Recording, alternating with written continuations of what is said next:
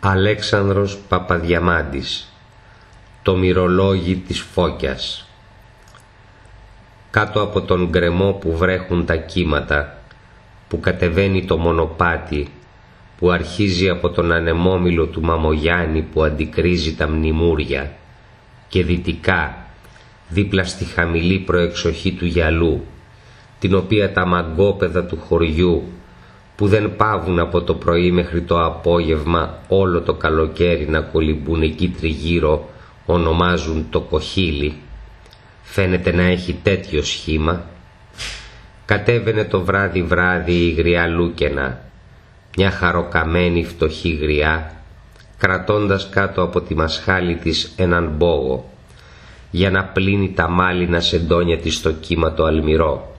Και μετά να τα ξεγλυκάνει στη μικρή βρύση, το γλυφονέρι, που δακρύζει από τον βράχο του σχιστόλιθου και χύνεται ήρεμα στα κύματα. Κατέβαινε σιγά σιγά το κατηφορικό μονοπάτι και με ψιθυριστή φωνή τραγουδούσε ένα πένθυμο βαθύ μυρολόι, φέρνοντας ταυτόχρονα την παλάμη της στο μέτωπο για να σκεπάσει τα μάτια της από το εκθαμβωτικό φως του ήλιου που βασίλευε στο αντικρινό βουνό και οι ακτίνες του χάιδευαν γλυκά τον μικρό φράχτη απέναντί της και τα μνήματα των νεκρών, ολόλευκα, ασβεστομένα, πάμφωτα στις τελευταίες του ηλιαχτίδες. Θυμόταν τα πέντε παιδιά της που είχε θάψει σε εκείνο το αλόνι του χάρου σε εκείνο τον κήπο της φθοράς, το ένα μετά το άλλο, χρόνια πολλά πριν, όταν ήταν ακόμα νέα. Δυο κορίτσια και τρία αγόρια, όλα σε μικρή ηλικία, τις είχε θερήσει ο χάρος ο αχόρταγος. Τελευταίο πήρε και τον άντρα της και της είχαν μείνει μόνο δυο ξενιτεμένοι γη. Της είπαν πως ο ένας είχε πάει στην Αυστραλία. Είχε να της στείλει γράμμα εδώ και τρία χρόνια. Δεν ήξερε τι είχε απογίνει. Ο άλλος, ο μικρότερος, ταξίδευε με τα καράβια στη Μεσόγειο και κάπου κάπου τη θυμόταν. Της είχε μείνει και μια κόρη, παντρεμένη πια με μισή δωδεκάδα παιδιά. Κοντά σε αυτήν περνούσε τώρα η γριά Λούκαινα τα γεράματά της και για αυτήν τραβούσε το κατηφορικό μονοπάτι για να της πλύνει τα στροσίδια και τα ρούχα στο κύμα το αλμυρό και να τα ξεγλυκάνει στο γλυφονέρι. Έσκυψε η γριά στην άκρη ενός χαμηλού θαλασσοφαγωμένου βράχου και άρχισε να πλένει τα ρούχα. Δεξιά της κατέβαινε λιγότερο απότομη η πλαγιά του χωμάτινου λόφου που πάνω του βρισκόταν το κημητήριο και από εκεί αδιάκοπα κυλούσαν στην Παμφάγο θάλασσα κομμάτια σαπισμένα ξύλα από ξεχώματα, δηλαδή υπολείμματα ανθρώπινων σκελετών από εκταφές, λείψανα από χρυσές γόβες ή χρυσοκέντητα που κάμισαν νέων γυναικών που κάποτε θαύτηκαν μαζί τους, τρίχες από ξανθά μαλλιά και άλλα λάφυρα θανάτου. Πάνω από το κεφάλι της λιγάκι δεξιά, μέσα σε μικρή κρύπτη δίπλα στο κημητήριο, είχε καθίσει ένας νεαρός βοσκός, επιστρέφοντας με το μικρό κοπάδι του από τους αγρούς, που δίχως να συλλογιστεί τον πένθυμο τόπο, είχε βγάλει τη φλογέρα από το ταγάρι του και σφύριζε έναν χαροπότσο πάνικο σκοπό.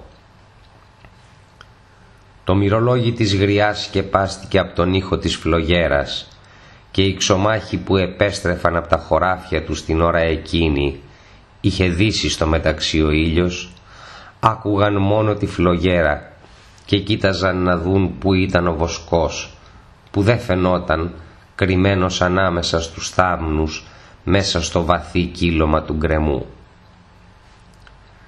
Μια γολέτα είχε ανοίξει πανιά και έκανε βόλτες μέσα στο λιμάνι. Αλλά δεν φούσκωναν τα πανιά της και δεν έστριβε από τον κάβο στα δυτικά. Μια φώκια που έτρωγε εκεί κοντά στα βαθιά νερά. Μάλλον άκουσε το σιγανό μυρολόγι της γριάς. Παρασύρθηκε από τη γλυκόλαλη φλογέρα του μικρού βοσκού και ήρθε παραέξω στα ριχά και χόρευε πάνω στα κύματα.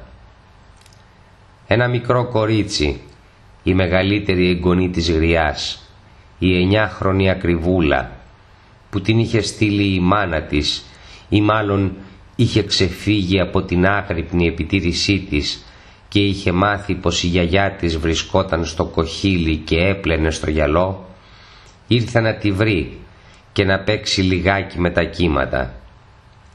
Δεν ήξερε όμως από πού άρχιζε το μονοπάτι από του Μαμογιάννη το μήλο απέναντι στα μνημούρια και όταν άκουσε τη φλογέρα πήγε προς τα εκεί και ανακάλυψε τον κρυμμένο βοσκό και αφού χόρτασε να ακούει το όργανό του και να τον καμαρώνει είδε μέσα στο μούχρωμα ένα μικρό απότομο κατηφορικό μονοπάτι και νόμισε πως από εκεί είχε κατεβεί η γριά. Και πήρε το μονοπάτι για να κατεβεί στο γυαλό να την ανταμώσει. Και είχε ήδη νυχτώσει. Η μικρή έκαμε μερικά ακόμη βήματα και είδε ότι ο δρόμος γινόταν πιο απότομος. Έβαλε μια φωνή και προσπάθησε να ανεβεί, να γυρίσει πίσω. Βρισκόταν πάνω στο φίδι ενός βράχου που προεξήχε ίσα με δυο μπόγια πάνω από τη θάλασσα. Ο ουρανός σκοτίνιαζε, τα σύννεφα έκρυβαν τα στέρια και το φεγγάρι ήταν στη χάση του. Προσπάθησε, μα δεν έβρισκε πια το δρόμο από που είχε κατεβεί. Γύρισε πάλι προς τα κάτω και δοκίμασε να κατεβεί. Γλίστρισε και έπεσε μπλουμ στο κύμα. Ήταν τόσο βαθιά η θάλασσα όσο ψηλός ήταν και ο βράχος. Ίσα με δυο οριές. Το τραγούδι της φλογέρας έκανε να μην ακουστεί η κραυγή.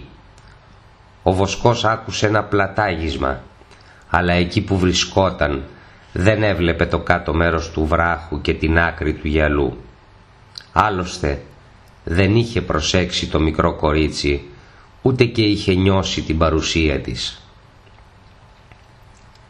Καθώς είχε ήδη νυχτώσει, η γριά Λούκαινα πήρε τον πόγο της και άρχισε να νηφορίζει το μονοπάτι για να επιστρέψει στο σπίτι της. Στη μέση του μικρού δρόμου άκουσε το πλατάγισμα, γύρισε και κοίταξε μέσα στο σκοτάδι προς το μέρος του βοσκού.